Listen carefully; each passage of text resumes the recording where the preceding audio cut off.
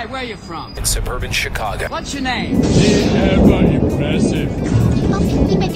But never duplicate. Hey everybody, what's going on? Eric C here. Hope you guys are doing good. I'm doing just great. Right now I'm with the Charvel body again, and as you can see, it's got a clear coat on it now. It's not the final clear on here. I do have to do a little bit of a wet sanding. There's a couple of bugs that got into the finish over here.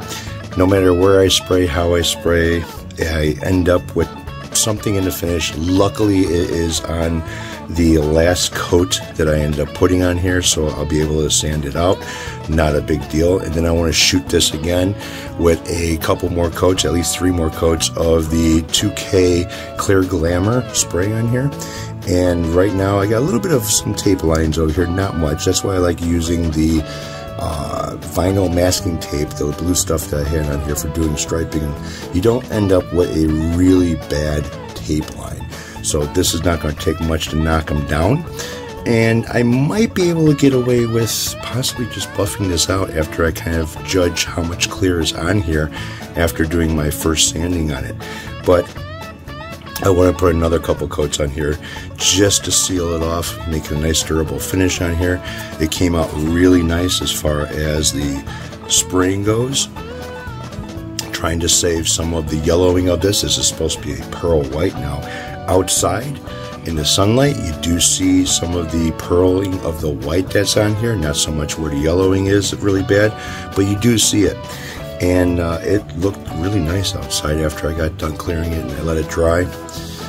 So it's been drying for about, let's see, two and a half days now, and it is pretty much has a hard shell on there. I cannot leave my fingernail in any of it, it just slides right off of it. That's what I love about that 2K spray. So I'm going to go start getting into wet sanding right now. You guys have a good one. You could watch it if you want. If not, it's just going to be a boring sanding video.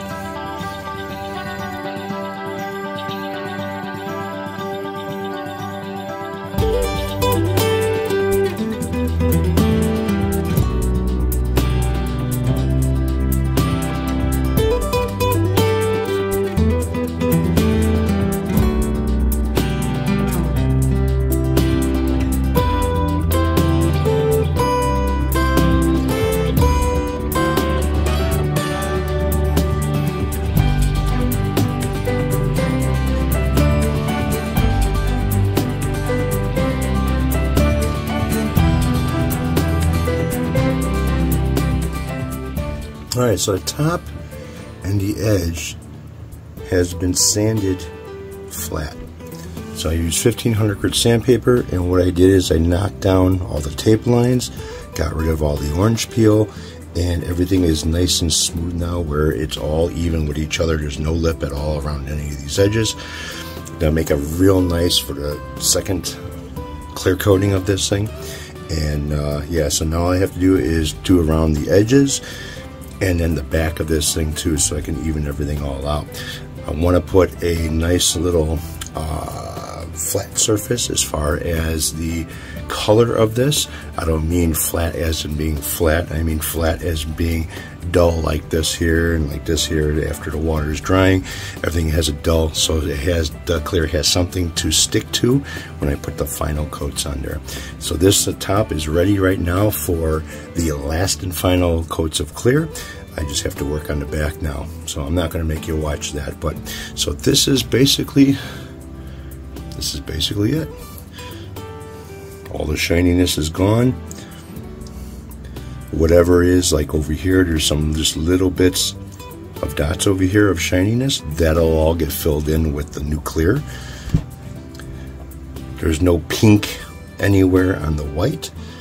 That's showing me that I didn't cut through the clear coat all the way through and it still has the red sealed with some of the clear.